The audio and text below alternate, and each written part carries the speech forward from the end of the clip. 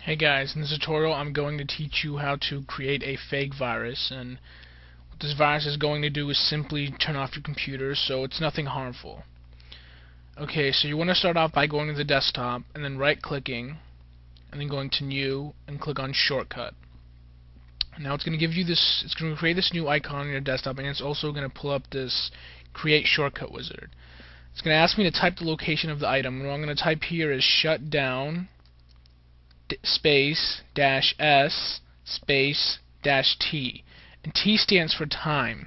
So what I'm going to type here is the amount of time I want to give the computer before it shuts off. In this case I'm just going to put in 1000 seconds. You can put 1 to 5 to whatever you want. And then hit another space and hit dash and type in C now C stands for comment and this is the comment that the virus is going to give when it's activated. And so here I'm just going to type this is a fake virus and then that's it. Just make sure the comma is encased in quotations. Alright, so once you've done that, hit next. And now it's going to ask you to type in a name for the shortcut and I'm just going to put to make it look real, I'm just going to type in Internet Explorer. Now hit finish. So now you can see this item's been created on my desktop and if you've noticed it doesn't really look like Internet Explorer. So in order to change the icon right click on it and click on properties. And now there are a few tabs up here if you look and you want to make sure you're on the shortcut tab. And now if you look down here it's going to have a change icon button. Click on that. Now it's going to ask you to change an icon from the list or specify a different file. Just hit OK. Now if you have your own file, you, your own shortcut file. You could just browse from here. But I'm just going to choose this one right here, Internet Explorer icon, and hit OK.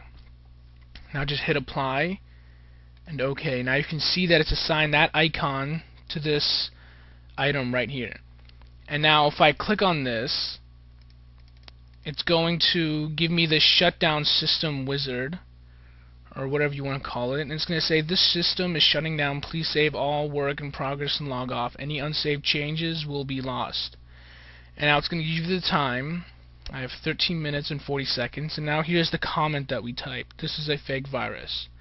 Now if you've noticed, this X button that closes the window is not clickable. So we can't exit out of it that way.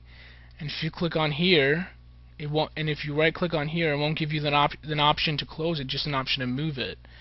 So and even if you go to the task manager and we locate the file and try to close it it's going to say this is a critical critical system process. Task manager cannot end this process. So you're basically stuck here and once you've initiated this you can't undo it but there actually is one way you can.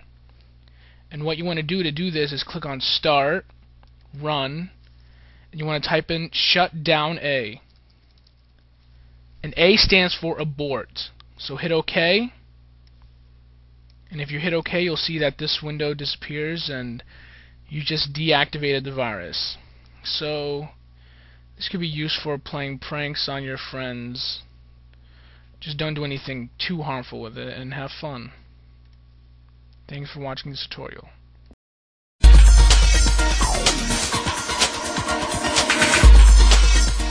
TrickLife.com